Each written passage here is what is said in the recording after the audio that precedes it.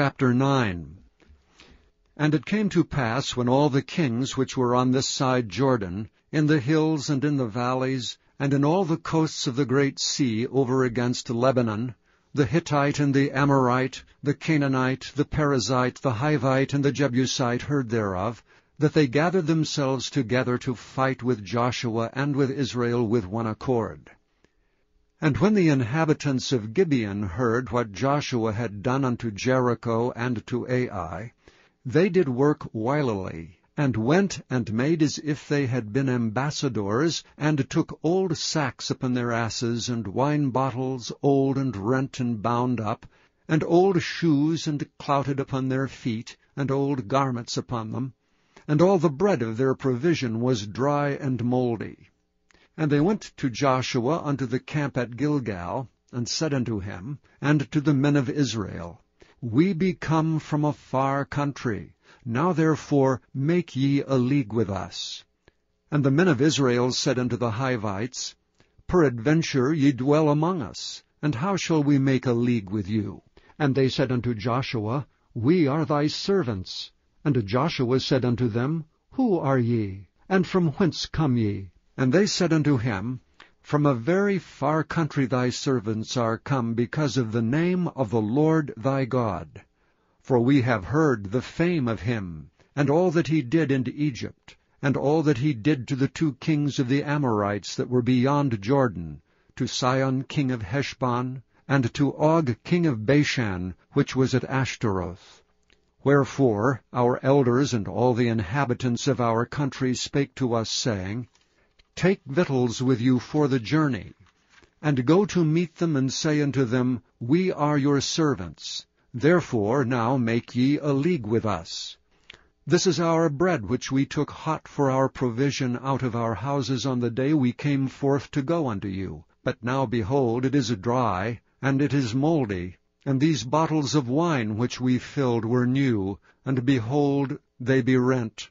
And these our garments and our shoes are become old by reason of the very long journey. And the men took of their victuals, and asked not counsel at the mouth of the Lord. And Joshua made peace with them, and made a league with them, to let them live. And the princes of the congregation sware unto them. And it came to pass at the end of three days after they had made a league with them, that they heard that they were their neighbors, and that they dwelt among them. And the children of Israel journeyed and came unto their cities on the third day. Now their cities were Gibeon, and Chephirah, and Beeroth, and Kirjathjearim. And the children of Israel smote them not, because the princes of the congregation had sworn unto them by the Lord God of Israel. And all the congregation murmured against the princes. But all the princes said unto all the congregation, We have sworn unto them by the Lord God of Israel. Now therefore we may not touch them. This is what we will do to them. We will even let them live, lest wrath be upon us because of the oath which we swear unto them. And the princes said unto them, Let them live, but let them be hewers of wood and drawers of water unto all the congregation as the princes had promised them. And Joshua called for them, and he spake unto them, saying, Wherefore have ye beguiled us, saying, We are very far from you, when ye dwell among us? Now therefore ye are cursed. And there shall none of you be freed from being bondmen and hewers of wood and drawers of water for the house of my God. And they answered Joshua and said, because it was certainly told thy servants how that the Lord thy God commanded his servant Moses to give you all the land, and to destroy all the inhabitants of the land from before you. Therefore we were sore afraid of our lives because of you, and have done this thing. And now, behold, we are in thine hand. As it seemeth good and right unto thee to do unto us, do. And so he did unto them and delivered them out of the hand of the children of Israel, that they slew them not. And Joshua made them that day hewers of wood, and drawers of water for the congregation, and for the altar of the Lord, even unto this day, in the place which he should choose. Chapter 10 Now it came to pass, when Adoni-Zedek, king of Jerusalem, had heard how Joshua had taken Ai, and had utterly destroyed it, As he had done to Jericho and her king, so he had done to Ai and her king, and how the inhabitants of Gibeon had made peace with Israel and were among them, that they feared greatly because Gibeon was a great city, as one of the royal cities, and because it was greater than Ai, and all the men thereof were mighty. Wherefore Adoni-Zedek, king of Jerusalem, sent unto Hoham, king of Hebron, and unto Piram king of Jarmuth, and unto Japhia king of Lachish, and unto Debir king of Eglon, saying, Come up unto me, and help me, that we may smite Gibeon, for it hath made peace with Joshua and with the children of Israel. Therefore the five kings of the Amorites, the king of Jerusalem, the king of Hebron, the king of Jarmuth, the king of Lachish, the king of Eglon, gathered themselves together and went up, they and all their hosts, and encamped before Gibeon, and made war against it. And the men of Gibeon sent unto Joshua to the camp of Gilgal, saying, Slack not thy hand from thy servants, come up to us quickly, and save us, and help us. For all the kings of the Amorites that dwell in the mountains are gathered together against us. So Joshua ascended from Gilgal, he and all the people of war with him, and all the mighty men of valor. And the Lord said unto Joshua, Fear them not, for I have delivered them into thy hand. There shall not a man of them stand before thee. Joshua therefore came unto them suddenly, and went up from Gilgal all night. And the Lord discomfited them before Israel, and slew them with a great slaughter at Gibeon, and chased them along the way that goeth up to Bethhoron, and smote them to Azekah and unto Makkedah. And it came to pass, as they fled from before Israel, and were in the going down to Bethhoron, that the Lord cast down great stones from heaven upon them unto Azekah, and they died. They were more which died with hailstones than they whom the children of Israel slew with the sword. Then spake Joshua to the Lord in the day when the Lord delivered up the Amorites before the children of Israel. And he said in the sight of Israel, Sun, stand thou still upon Gibeon, and thou, moon, in the valley of Ajalon. And the sun stood still, and the moon stayed, until the people had avenged themselves upon their enemies. Is not this written in the book of Jasher? So the sun stood still in the midst of heaven, and hasted not to go down about a whole day. And there was no day like that before it or after it, that the Lord hearkened unto the voice of a man. For the Lord fought for Israel. And Joshua returned, and all Israel with him unto the camp to Gilgal. But these five kings fled, and hid themselves in a cave at Makkedah. And it was told Joshua, saying, The five kings are found hid in a cave at Makkedah. And Joshua said, Roll great stones upon the mouth of the cave, and set men by it for to keep them. And stay ye not, but pursue after your enemies, and smite the hindmost of them, suffer them not to enter into their cities, for the Lord your God hath delivered them into your hand. And it came to pass, when Joshua and the children of Israel had made an end of slaying them with a very great slaughter, till they were much consumed, that the rest which remained of them entered into fenced cities. And all the people returned to the camp to Joshua at Makkedah in peace. None moved his tongue against any of the children of Israel. Then said Joshua, Open the mouth of the cave, and bring out those five kings unto me out of the cave. And they did so, and brought forth those five kings unto him out of the cave, the king of Jerusalem, the king of Hebron, the king of Jarmuth, the king of Lachish, and the king of Eglon. And it came to pass, when they brought out those kings unto Joshua, that Joshua called for all the men of Israel, and said unto the captains of the men of war which went with him, Come near, put your feet upon the necks of these kings. And they came near, and put their feet upon the necks of them. And Joshua said unto them, Fear not, nor be dismayed, be strong and of good courage, for thus shall the Lord do to all your enemies against whom ye fight.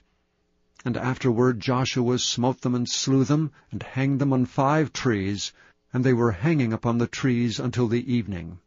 And it came to pass at the time of the going down of the sun, that Joshua commanded that they took them down off the trees and cast them into the cave wherein they had been hid, and laid great stones in the cave's mouth, which remain until this very day. And that day Joshua took Makkedah, and smote it with the edge of the sword, and the king thereof he utterly destroyed. Them and all the souls that were therein he let none remain. And he did to the king of Makkedah as he did unto the king of Jericho. Then Joshua passed from Makkedah, and all Israel with him, unto Libnah, and fought against Libnah. And the Lord delivered it also, and the king thereof, into the hand of Israel. And he smote it with the edge of the sword, and all the souls that were therein. He let none remain in it, but did unto the king thereof as he did unto the king of Jericho. And Joshua passed from Libnah, and all Israel with him, unto Lachish, and encamped against it, and fought against it.